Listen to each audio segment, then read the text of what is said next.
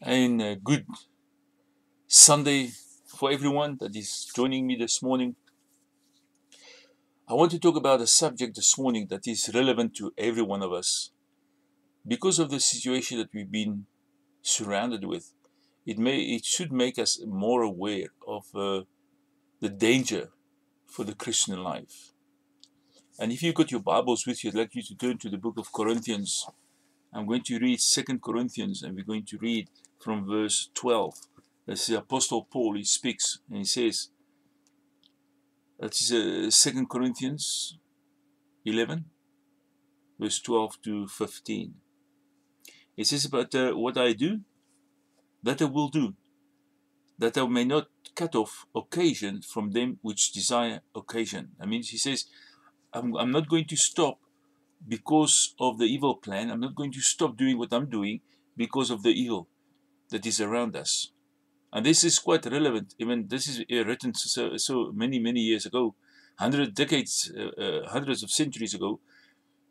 Paul is saying that regardless of the evil that is around me, regardless of the situation that, I'm, that we are all facing, every one of us, he says, I will not stop what I'm doing. And what he was doing is preaching the gospel wherever he was.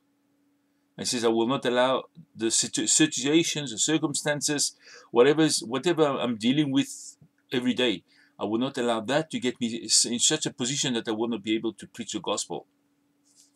He says that uh, that where that where in their glory they may that they may be found even as we are. In other words, he says, I won't stop preaching the, the gospel, preaching the word of God, even though many things come against us. And, and I mean, we are facing a global virus and it's been coming against us like in waves.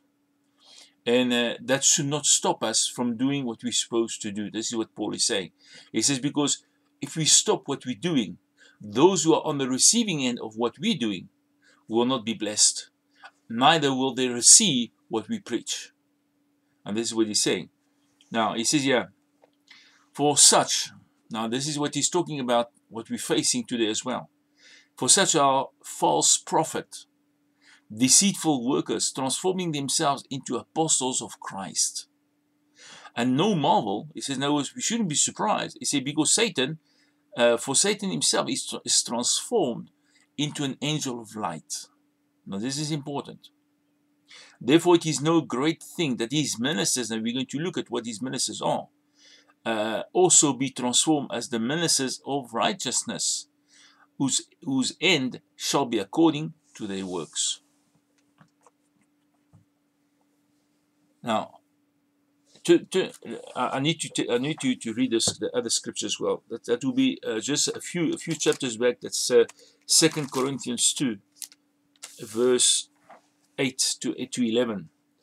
Just just uh, go back a few pages while you're in Second Corinthians, go to chapter 2 from 8 to 11, it says here, Wherefore I beseech you that you would confirm your love towards him, uh, towards God. For to this end also I did write, that I might know the proof of you. Wherefore be obedient in all things. To whom you, you, you forgive anything, I forgive also. For if I forgave anything to whom I forgave it, for your sake forgave it I it in the person of Christ, lest Satan should get an advantage of us and we are not ignorant, for we are not ignorant of his devices. So Paul is saying here, one of the biggest, one of the biggest uh, uh, trick of the devil, and we're going to have a look. Uh, here it says here, one of the biggest trick of the devil is not be not believers not being in unforgiveness. We need to forgive 17 times 7. And that's one of the trick of the devil. In John 4, 14, 5, 6 says, Thomas said to him, uh, we, do, we do not know where you go. He's talking to Jesus. But how can we know the way? And Jesus said to him, I am the way, the truth, the life. No one comes to me but to the Father but by me. Now, this morning I want to talk about counterfeit. The devil is a counterfeit and he uses everything that God has made, he perverts and he counterfeits it. And whatever he counterfeits is to destroy. John 10:10 10, 10 says, uh, "The thief, that was the devil, comes to steal, to kill, and to destroy. But I, Jesus, have come to give you life and life in more abundant, abundantly." And the devil is constantly challenging God's power upon the earth. He's constantly challenging what God wants to do. He's, he's on, always, uh, always fighting it and perverting it. And when he was in heaven, he rebelled against God. And he declared, and this is important, an important statement that he made. He says, he said, he said, he said, I want to exalt my throne above that, that of God. Now you can you can read that in the book of Ezekiel or the book of Isaiah, and you'll you'll see the whole story there. But he says, I want to exalt my throne above that of God. In other words, he wanted to be higher than God. And God had none of that. And we, we read in the book of Revelation that there was a war in heaven and the devil fell. And Jesus, Jesus himself said to his disciple, I saw the devil fell like, like, like lightning to the earth. So here we have the devil fighting with God to take that place of authority, to take that place of power, to take that place of, of being superior to everybody else. But the Bible says that uh, the Bible says that sin was found in his heart, and he was cast out of the of heaven. He was cast out, and the book of Revelation says that, and a third, a third of the angelic host that was in heaven fell with him. Words, he had already perverted a third of the angels. Wow. It was so convincing because, uh, uh according to the Bible, he was the, the, the archangel uh, he was uh, uh, the leader of the worship. He was uh, the, the most anointed cherub, the Bible calls it. In was yet a high ranking authority, but he wanted more. He wanted to be above, above God. And uh, so there was war in heaven, and he was cast out. And those who, are, who those who had he had uh, perverted, and the Bible says a third of the angelic host, those had perverted fell with him. Now, I perverted, his name was Lucifer in heaven. I perverted Lucifer. After the fall, he became Satan. The perverted angels became demons. And us, a perverted Christian, becomes a backslider. So now, now you're looking, you're looking at this, and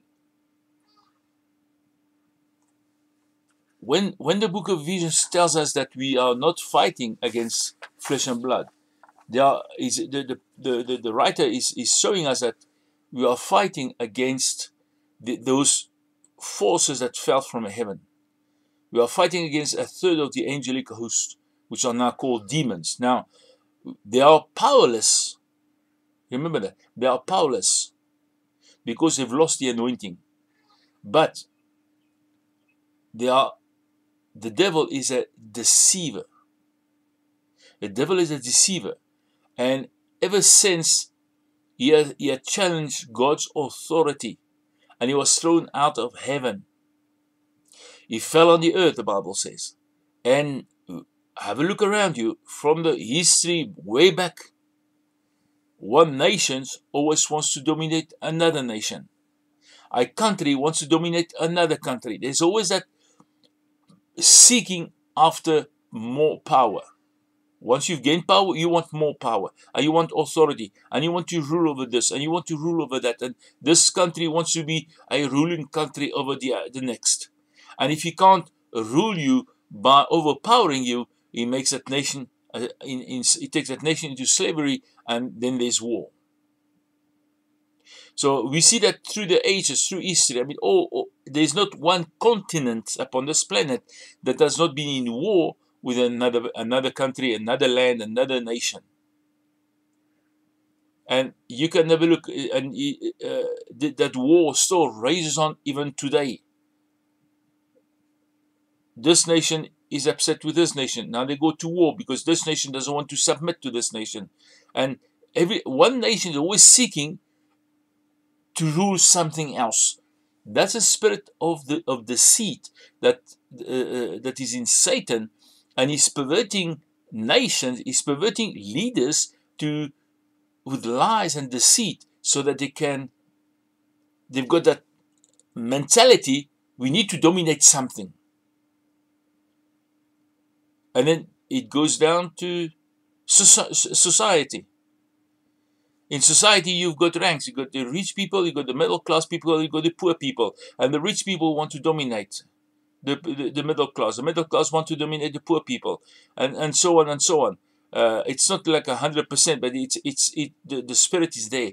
There's always a difference. If it's not in color, it's in society rank, and we see that. And all these things, the Bible uh, keeps teaching us that we are one in Christ, regardless of color, creed, nation, country. We are still one in Christ. If you are if you're a brother and sister, then you are a brother and sister, regardless which language you talk, regardless which color you are, regardless which land you stay in we are brothers and sisters through Christ. But when we start separating ourselves from the love of God, we fall into the deception and start wanting to be better than somebody else. There's always that competitive spirit around around everybody, uh, and and you, you find that in that in churches as well. One church wants to be better than the next. One church wants to have more people than the next. One church wants to have the best instrument than the next. One church wants to have the best preacher than the next, and, and so on. There's always that competitive spirit, and we are missing the point. We are missing out because we are ignorant. And, and, and Paul says that we should not be ignorant of the devil's schemes. He warns us about that. He said, don't be ignorant of the devil's schemes. Uh, the devil initiates deceit. Understand it. The devil initi initiates deceit in people. And people start doubting, people start, start being envious, people start being jealous, people start uh, wanting and, and, and wanting something else. And, and, and we fall into the, the, the deception. Uh, and the devil is painting a picture of deceit and he counterfeits. I mean, look, look at this. He, back to that one scripture that says here, uh, verse 14, 2 Corinthians 11, he says here, and no marvel, for Satan himself is transformed into an angel of light. And then Paul talks about the false prophet, and that's in the church, not, not outside. So, so even within the church ranks, the devil has been trans- deceiving people and some people that are wanting to and this is again a place of dominance. It's a place of having more power than the next person. In other words a, a man a person not a man a person that wants to dominate others will make himself of more importance. And that's why paul calls them false prophets. Because a prophet of god when, when you encounter a, a real prophet of God, you'll see how committed this person is, how modest this person is, how submissive this person is.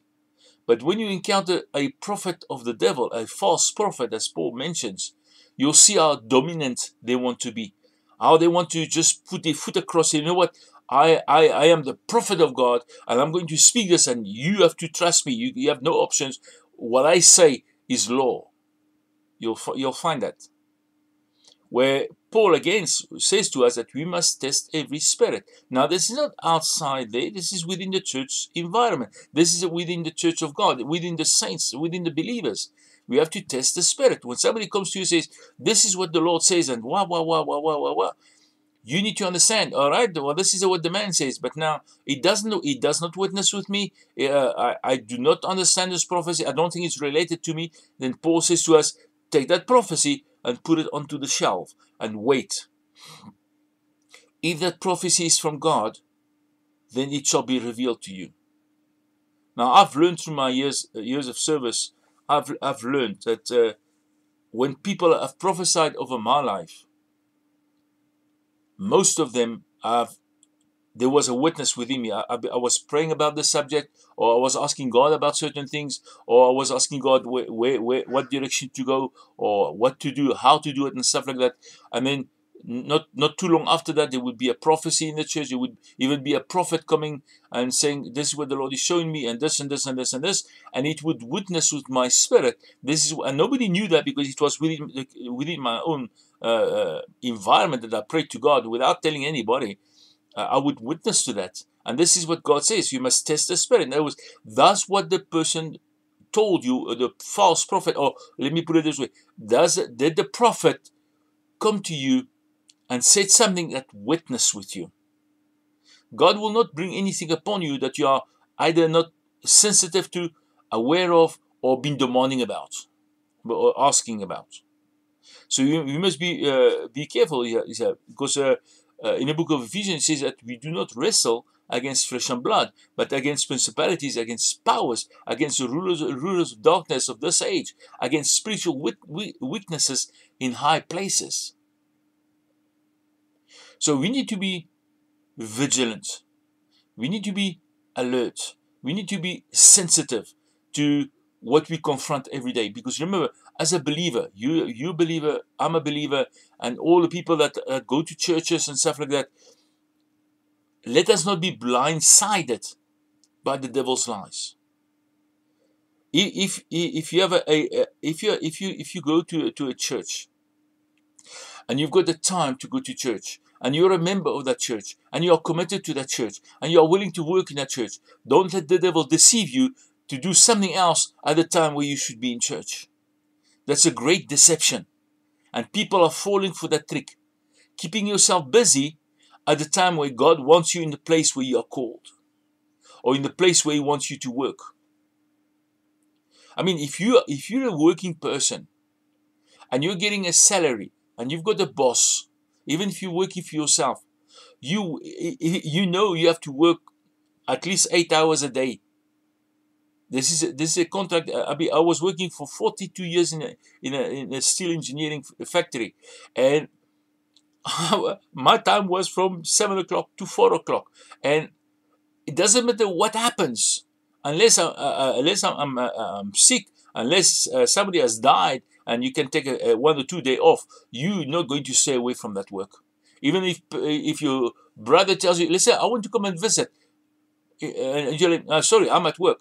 You're not going to say, oh, well, okay, I'll, I'll stay away from work. I'll, you can come visit and we can chat. You would never do that. But why are we doing it with the church? Why are we doing with the church? Why do we keep ourselves busy in the time where we should be assembled? As, as Paul says, do not neglect the assembly of the saints. Yet we do that. Yet we do, we do that. We, we find things to keep ourselves occupied in a time where God has a, a, an appointed time for him and you to encounter, to meet, and so God can talk to you, God can bless you, God can uh, see your faith, see your obedience, see your, see your submissive spirit. We are, we are being deceived by the devil because he wants to dominate your life. He wants to dominate your Christianity. Why? Because if he can work through you, he's got a little bit of power because you've got power because of the blood of Jesus, because of the word of God, because of the Spirit of God. You've got power, and the devil wants to be use you, he wants to use you as an instrument. So he can have a sense of the power that he seeks after.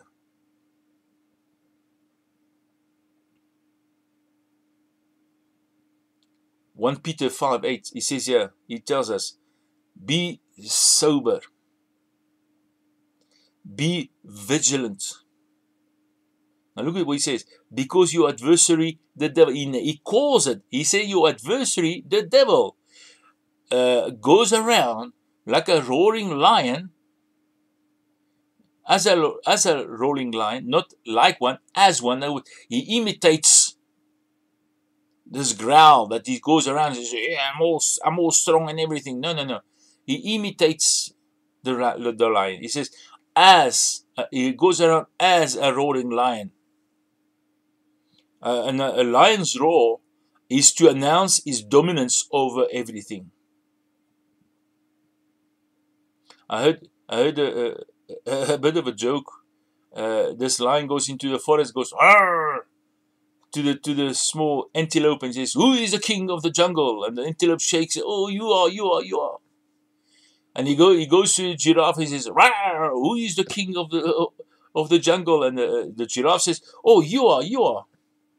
And he goes to the elephant and he goes, Who is the king of the jungle? The elephant looks at him with his trunk, grabs the lion and hits him, pop, pop, pop, pop, pop, and throws him there on the other side. And the lion just goes, oh, this, and he goes, Okay, you don't have to be upset because you don't know the answer. but the devil, the uh, Paul, Peter says to us, the adversary, the devil, Satan, goes around as a rolling lion Look at that. He says, seeking whom he may devour. Not seeking to devour, seeking who, seeking who he may devour. In other words, he's got to have something that allows him to devour whatever you're doing. And that something is that is, is you believing his lies. He deceives the nations, it deceives the leaders that they need, oh, they need to dominate this, this country, and this, the, the, all these leaders are getting all uh, stirred up and everything, and they decide, let's go to war with this country because we need to dominate that that country, and they fall into de- deception. And in, in, in church circles, you'll have you'll have people in the church that are developing envy, developing jealousy because of the devil's lies, and they they want or they want to play in the band or they, they want to, they want to be elders or they want to be the, they want to bring the word and they want to be this and they want to be that. There's always that desire to want something not allowing god to promote. The bible says god will promote you. Humble yourself before the lord. God will god will promote you. Be found in the in, in be found in the compound of your calling according to the word of god and god will exalt you in due time. So let us be alert. Let us, sober means clear-minded. No, uh, many people say, uh, uh, "Be sober." They think, "Oh, we should not drink." Uh, you should not drink, but that sober means being clear-minded. To be clear-minded. Now, we must be vigilant. We must be alert and be sensitive, and we need to be walk, have a closer walk with God so that we can discern the onslaught and the deceit and the lies of Satan. Because when we when we sense the onslaught of the devil, then we can react. And Peter says, resist the devil and he shall flee from you. So, my, my brothers and my sisters, this is the word of the Lord this morning. The church, the Christians, the believers must become more vigilant, more alert, more, more on their toes moving forward. Because at the end times, not evil will, will increase, but God's glory will increase even more. But we need to be very, very vigilant to the onslaught of the devil, and we need to resist him by the word of God, by the blood of Jesus, and by the power of the Holy Spirit. Be sober, be vigilant in the name of Jesus. Shalom.